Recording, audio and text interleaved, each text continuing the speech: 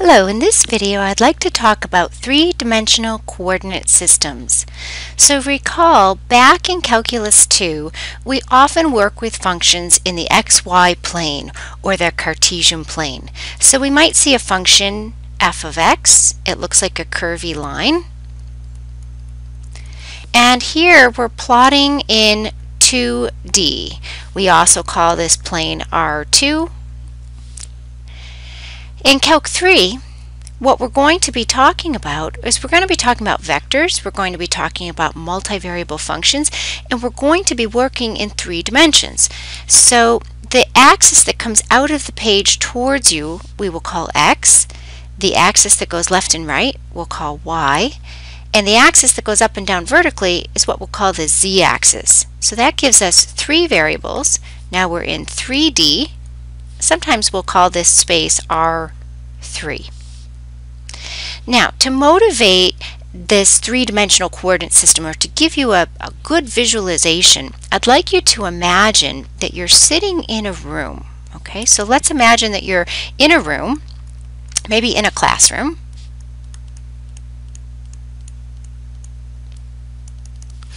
And you've got the front wall, maybe there's a chalkboard or a whiteboard on the front wall, and maybe your teacher is standing at the front pointing out things on the front wall, and they have some sort of hairdo, uh, and there they are.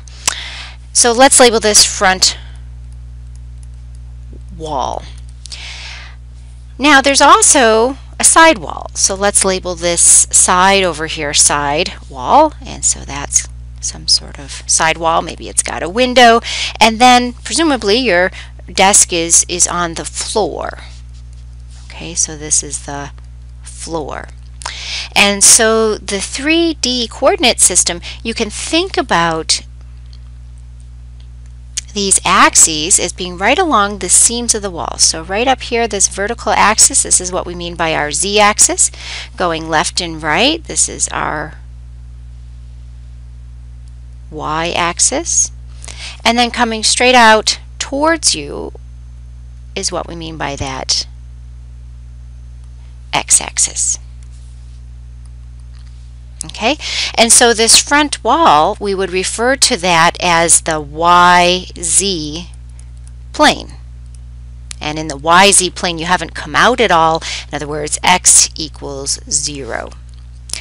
In the floor, so if we think about the floor, x and y, this is the xy plane.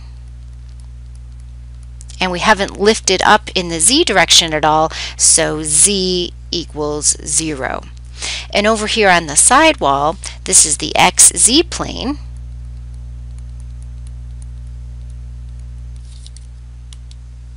So I'll label this side right there. And in the xz plane, we haven't slid left or right at all, and so y equals 0. Okay? So I think that's a good visualization to keep in mind. For practice, let's look at plotting a point given by 2, 3, and 5. Let's plot that point in 3D. Now, the first component is x, the second component is y, and the third component is z.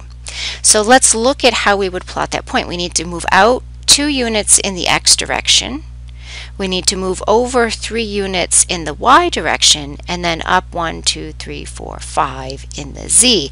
And it's kind of hard to draw that point hanging out in space. So what I recommend is that I recommend that you draw a little rectangular prism to help visualize that. So I'm going to draw that here. Maybe I'll draw that in a, a pretty light color so that we um, just use it as a guide and let's see, I need to go up. We'll go up to five units here. And we'll keep drawing this rectangular prism, sort of a perspective drawing. Let's see if we get it get it right here. Let's see, kind of come down a little bit, and then we'll go over and back. Okay, so roughly speaking, that's a pretty decent rectangular prism that's coming uh, out to over 3 and up 5. And so our point of interest is the front corner of this box.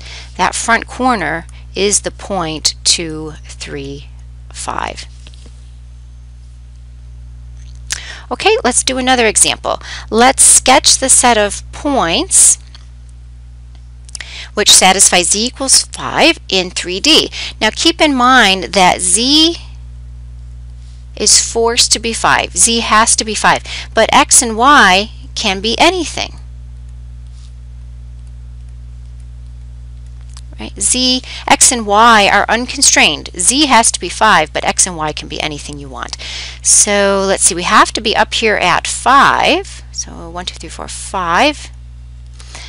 But again, x and y can be anything. And so what that gives us is gives us a plane. I'll try to draw that again with a perspective drawing. This gives us a plane which is parallel to the xy plane. Try to draw that nicely here. Okay, so we get some sort of plane. It goes on, certainly in all uh, x, y directions. It's infinite. It's, it's an infinite plane. I, I've drawn it finite because I can't draw forever, of course. And sometimes it's nice to darken in the axis that comes up out of the top of this thing. Looks like a post-it note on top of a pencil or something like that. So it's a plane parallel to the xy plane. Great. The last thing I want to talk about here is the distance formula in 3D. And the distance formula in 3D says let P1 and P2 be two points in R3. So we will describe point P1 by its XYZ coordinates, X1, Y1, Z1, and P2 will be described by its coordinates, X2, Y2, and Z2. So we've got two points in 3 space and the distance from P1 to P2 is given by the following formula. So we'll use the vertical bars to denote the magnitude or the distance between those two points. It equals the square root of x1 minus x2 squared plus y1 minus y2 squared plus z1 minus z2 squared.